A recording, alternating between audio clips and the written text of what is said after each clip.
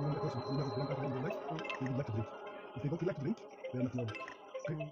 Because when you enjoy this kind of amazing view, you need to be intellectual. When you are in this intellectual capacity, baby.